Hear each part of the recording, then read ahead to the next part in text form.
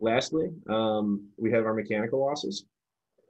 So there, there's really three elements to this I, I wanted to consider. We have the internal windage. This is the fact that the motor is not perfectly round and it's going to create some air resistance in the air gap. And as we increase speed, we're going to increase our windage losses.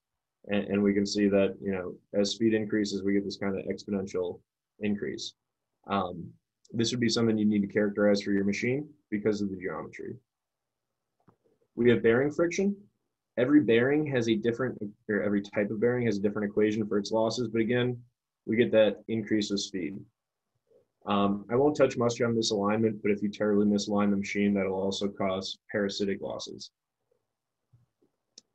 So with that, you might say, well, how can I measure these? Well, you could you could have an equation that's maybe from your data sheet, um, or you could characterize these losses by spinning the machine unloaded.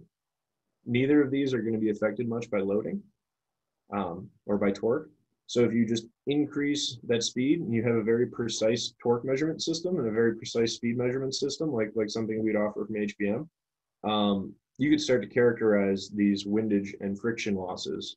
And again, really have a curve for that. Have, you know, okay, my speed is 4,500 RPM, my losses are this. You could characterize that curve and then implement that into our software as a sensor and say I've got my mechanical loss sensor. Um, based on speed. So some really interesting stuff you can do that you can implement live or in the post process into recording the data.